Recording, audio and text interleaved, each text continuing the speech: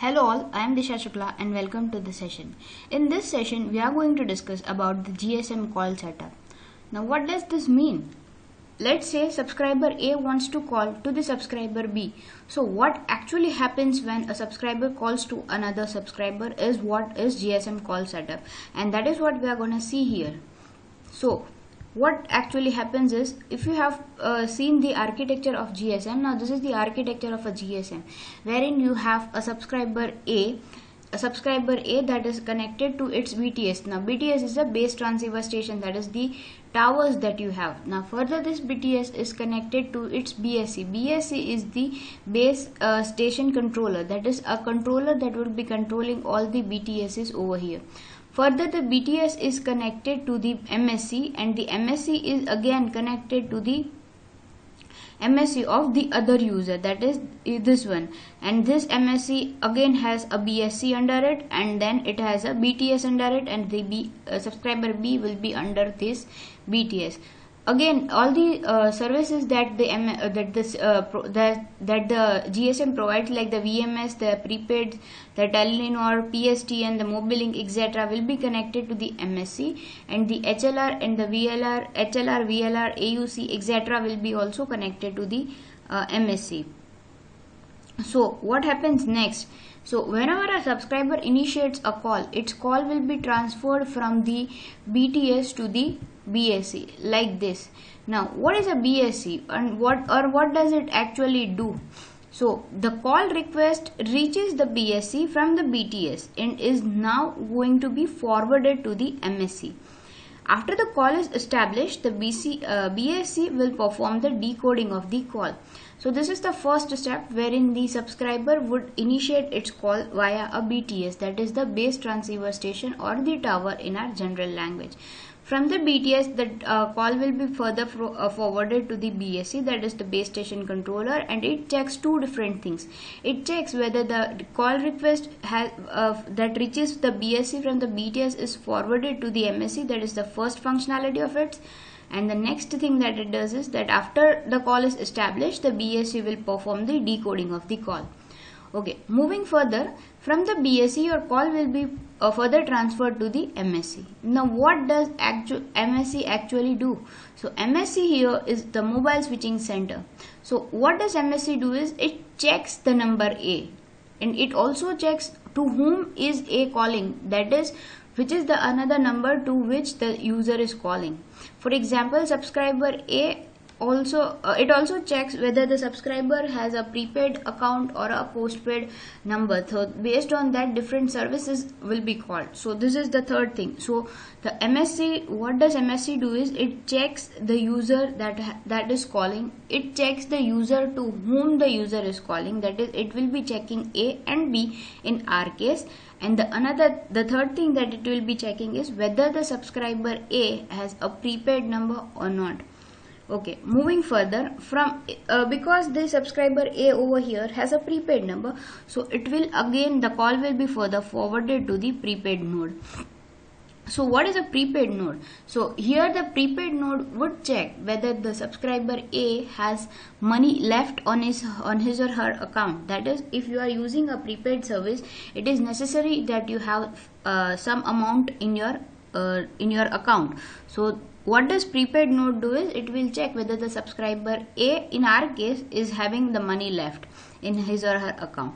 Now when the call is established and it's ongoing the subscriber's account is decremented accordingly. This is the functionality of the prepaid node. Again prepaid node does two things that is it checks whether the subscriber A that is the calling uh, subscriber has amount left in his account or not and if he has an account uh, amount left and the call is uh, ongoing then the other thing that it does is it will be decrementing the amount accordingly. So these are the functionalities of the prepaid node. Okay moving further. From the prepaid node it got the data for a. So it will again be passed to the msc now what does msc do is uh, here the msc will be checking the location of b. That is the subscriber b is connected to which bsc and further to which msc so it will be checking where is the subscriber B. again MSC will be interrogating in the HLR that is the home location register. Now the two things that are very important over here is what is a home location register, what is a so home location register is something that uh, that puts the value i mean it uh, it, it has the actual uh, position of the particular subscriber. If the subscriber is in its own cell then its value will be stored in the home location register. So what will msc do is it will interrogate uh, with the hlr so after the interrogation, I mean here the uh, MSC is interrogating to the HLR. So what will HLR do? So HLR will say that I am in the home of B subscriber and I know where he or she is right now. That is in which VLR. So HLR and VLR are the two database as we have already seen. HLR and VLR will be uh, having the values of the data that is the uh, where actually the subscriber is say for example a subscriber is in its own uh, cell then it is called that the subscriber is in its home location. So its data will be placed in the HLR now if a user is not in his own is in in his own cell then his data will be placed inside the VLR that is the visitors location register. So here what does HLR do is that it says that it knows where the subscriber B is that is it is aware about the VLR to contact. So it tells this VL, VLR that uh, give me a visitor's address of this subscriber that is the roaming number of the visitor B. So HLR will be asking from the VLR the roaming number of the location of the uh, subscriber B. Okay, moving further.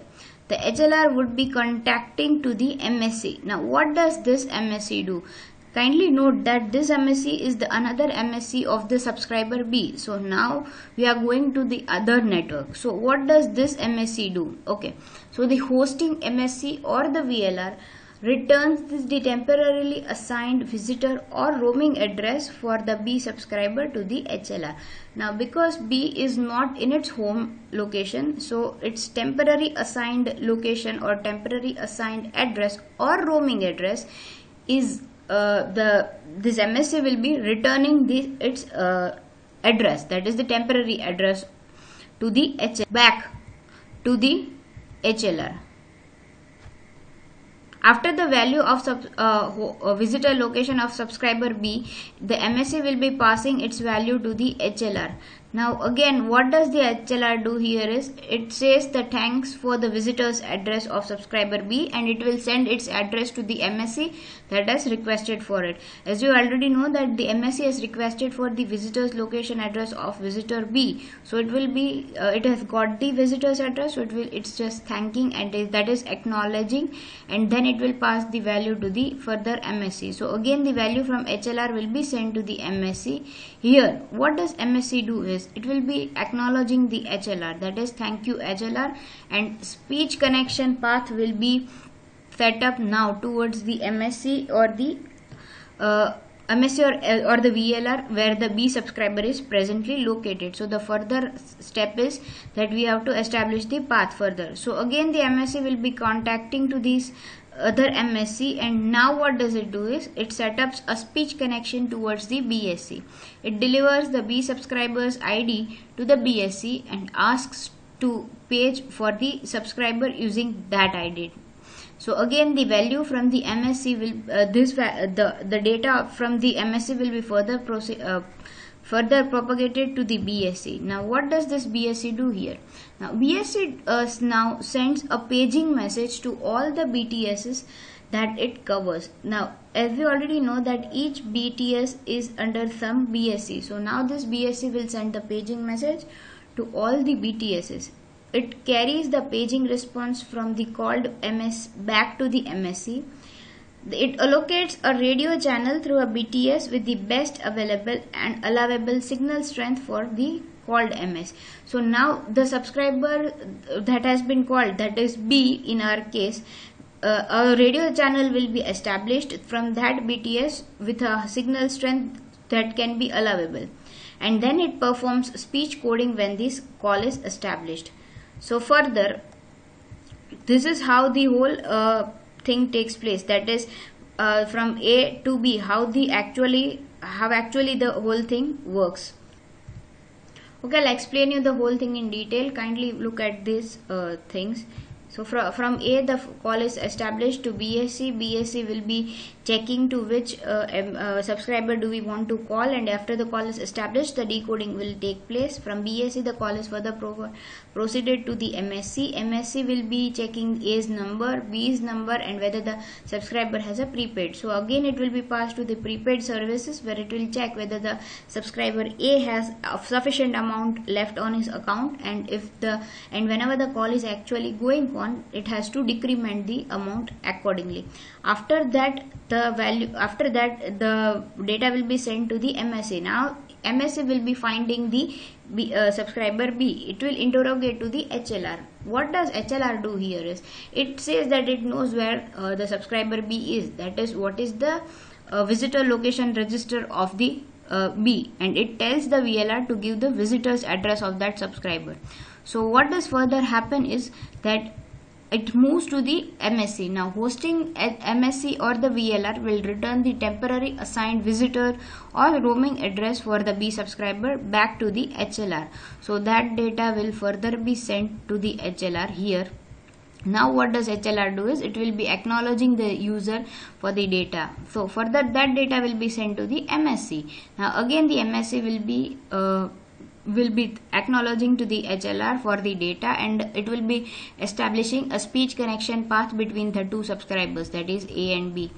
Now what does further happen is now the MSC of the subscriber B what does it do that it will be setting up the speech connection towards the BSC and it will deliver the B subscriber ID to the BSC. Now the BSC that handles all the BTSs of that area will now send a paging message to all the BTSs and it carries the paging response from the called MS back to the MSC allocates a radio channel and uh, that that has an allowable uh, signal strength for the calling and it performs speech coding when the call is established. And so for, uh, finally the call is the call is established and the user A and user B can talk here.